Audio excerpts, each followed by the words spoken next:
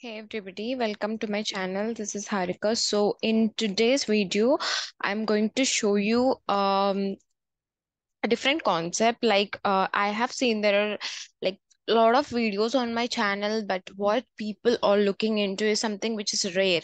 Like we have seen what we can do on the orchestrator, but something rare in the orchestrator is handling as an admin, right? So today I'm going to talk few concepts. Uh, so I'm going to drive a series on this. So if you have seen earlier, I have released a video on how to create an unattended setup.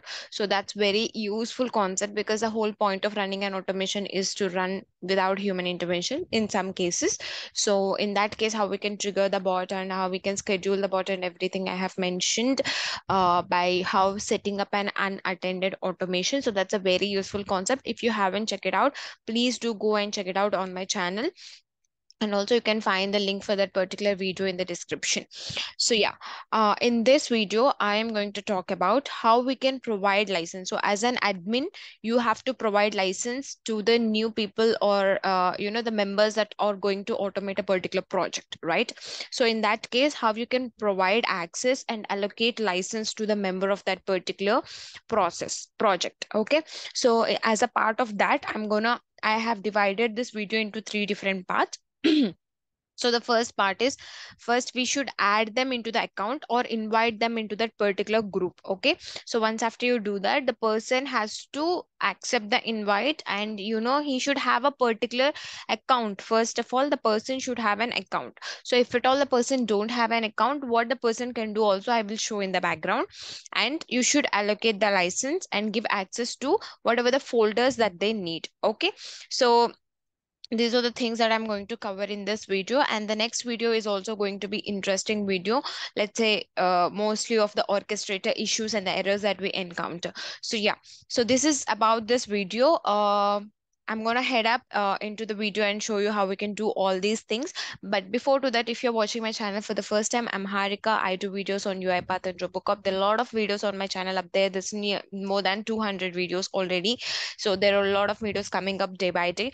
So if you like my content, please do consider subscribing because that gives me a lot of motivation and come up with interesting concepts and ideas. And also don't forget to like the videos. That gives me uh, that gives the videos a lot of reach so that the videos can go ahead to many people across and that you know which will help me to spread my videos to larger circle. So yeah, without any ado, let's get into the video and see how we can do all these things. So firstly, uh, what I'm going to show is so first I will add the person into account. Before to that, just uh, I'll pause the recording for a session because I wanted to make all the background settings done.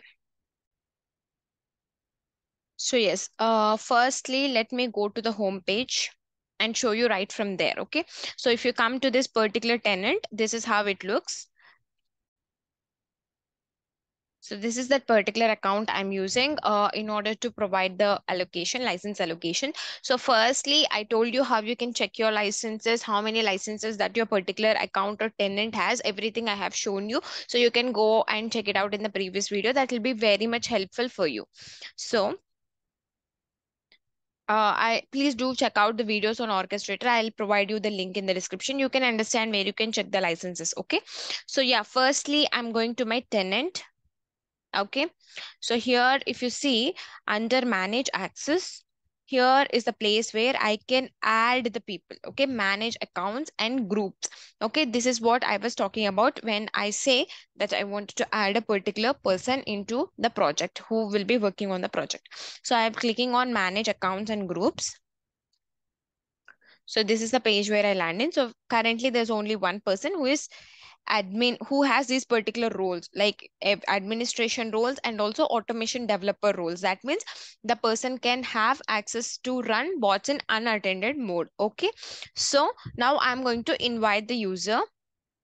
So here i'm going to write in the username harika.mudiam at outlook.com Okay, so this is a particular user. So let's say if I wanted to, uh, uh, you know, add that group member as automation developer, I'll add that, uh, you know, role to that particular user and I'll say invite.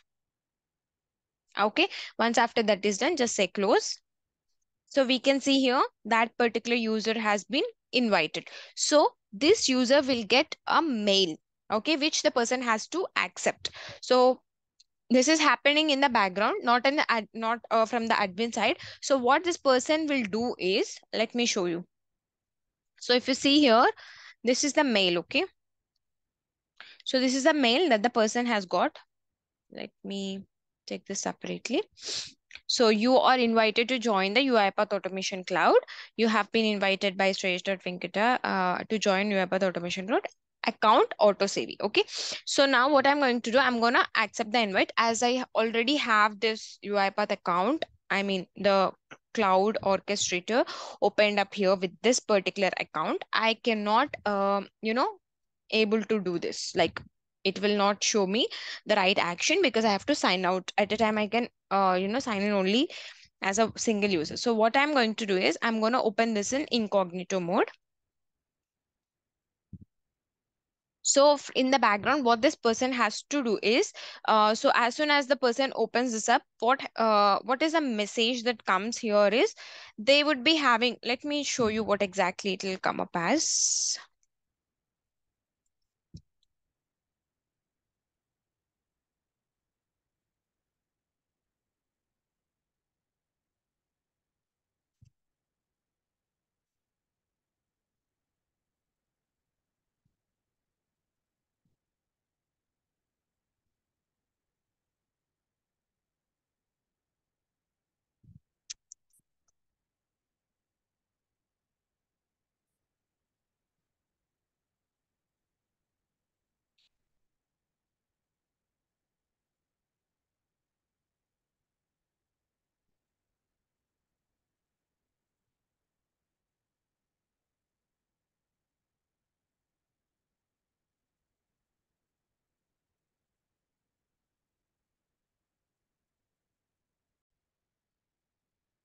So just to show you, I have used another account. So basically once after you click that, you will get something like this. So here you have to provide in your password. Like the other person for whom the invitation has been sent, they have to provide in the password and say create account. So once after the create account has been, you know, uh, clicked, only after which you can see something like this. Let me go over here and say, um,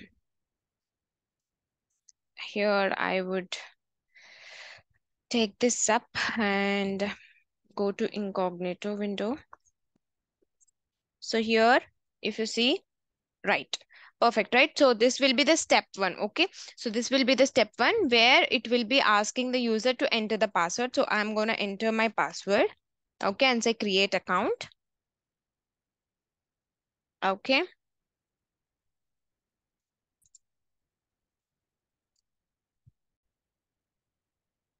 So once after I have already done that, right? So th that's why it's not letting me to go forward. But yeah, once after you do that and create account, you will get a password like this. Okay, so you have to confirm that that is your account. So you'll get a password like this, which you have to put in there, uh, the six digit, and it will take you. So once after that's done, you will also give some you know tenant name just like autosave what i have provided here you have to do that. So once after that's done what you can do is so this is how the page will be landing into and uh, let's go to the admin part okay? So uh, as the admin what i have done i have sent the invitation right?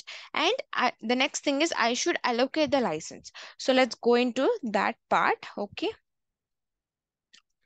So here what i'm going to do is Okay, so this particular user, uh, I'm I have accepted the invitation, right? So let's check if that's been accepted or not. So right, perfect. So here we cannot see that pending status. That means it is accepted. So now here we can say edit license allocation. So this particular user we have given um, automation developer license, right? So now I'm gonna edit. So here we can see allocate to the user and all these licenses, whatever we have allocated to the user, we can see. So I'm going to provide the tester license also to this particular user. So we can see this user has, let me refresh.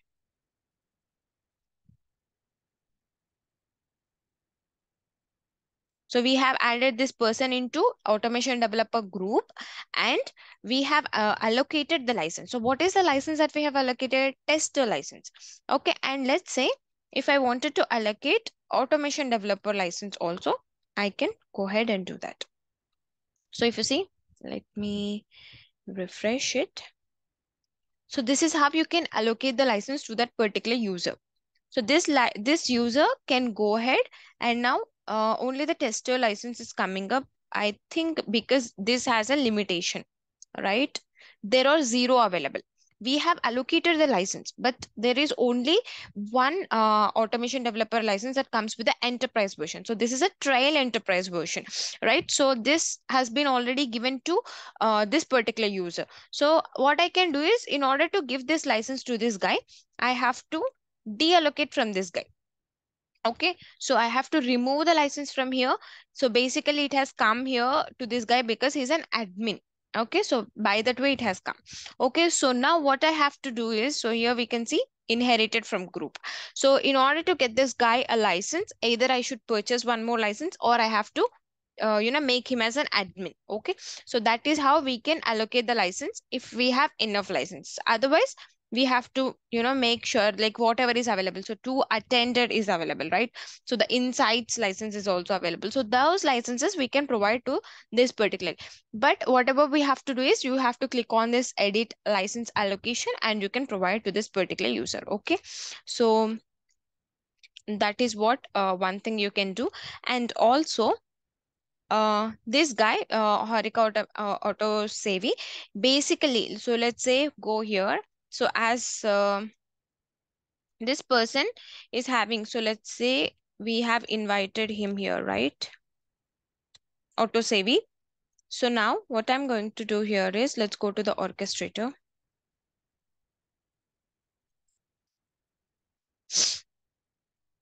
Okay, so this is my account. So now what I'm going to do here is let's create one folder. Okay. So here I'm coming up and creating one folder. I'm giving new folder. Okay.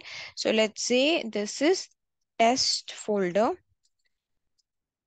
Okay, so here there are multiple fields. Uh, feeds, I will talk about feeds in the next uh, video. Okay, so here we can see that the folder has got created. So now, um, if I wanted to provide access to certain guy, okay, so let's say first uh, I'll show you the difference. Okay. So if you see, there is only my workspace, which is specific to harika.mudiam at outlook.com, right? And also one shared. Okay. But he don't have access to test folder, even though if I have uh, added him as an automation developer. So even if I refresh this, this guy don't have an access, right? So now what I'm going to do here is, so so here, if you see, I have so many uh, actions, right? So inside this particular actions, what I'm going to do, I'm going to assign users. So in the users, I can assign this user, okay? I'm, that means I'm giving access to that guy, okay? Just say uh, no roles are selected. So I can I can actually select some roles instead of creating. So I will say automation user. Okay, I'm not keeping it as an admin, just a user and say admin. So he'll not have an option to change anything, but just, you know, access the things. So now if you see test fol full folder, sorry, folder has been given to Harika Mudiam, right? So this is perfect. This is how you can actually allocate or, you know, give access to certain folders. Let's say if there are a lot of folders on your account and if you don't want everything to be controlled by all the users, then this is the way you can do. So yeah, a quick summary what all we have seen how we can actually provide access that means how we can add the users into your group and how you can allocate access how you can access add users into the group I've shown you right here in the tenant, you have manage access, go there and you know, you can add the person into the group, send an invite. Once the person accepts it, what you can do is in that particular, uh, whatever the users that you have, you have an option to edit license. And then how many ever licenses you have, based on that, you can add the licenses you can allocate the licenses to that person right so yeah and once after that's done let's say if you wanted to give a specific folder access you can do that by how we can do that. I have shown you here right? Let's go to orchestrator. This is my default tenant. So yeah how you can do that is uh, under that particular folder you can go to settings and assign user. And you can uh, assign that particular role like admin role or uh, automation developer or automation user role whatever role you wanted to give you can do that. So i hope you found this video useful and if you wanted to you know know more things and some new things about orchestrator if you're facing any issues uh, while handling orchestrator as an admin so yes here is the best place to ask your questions you can just check out check out so many videos are already there and still if you have so many questions on it or any issues on it just uh, you know comment down in the comment section and i will be coming up a new with a new video on that particular concept so I hope you found this video useful. If so, please, please, please give a thumbs up and also let me know your thoughts in the comment section. And don't forget to subscribe to my channel. I'm really, you know, looking forward to hit that 4K milestone. I hope you guys will help me to reach my milestone soon. Thank you so much for this for watching this video and I'll see you with the next one soon. Bye.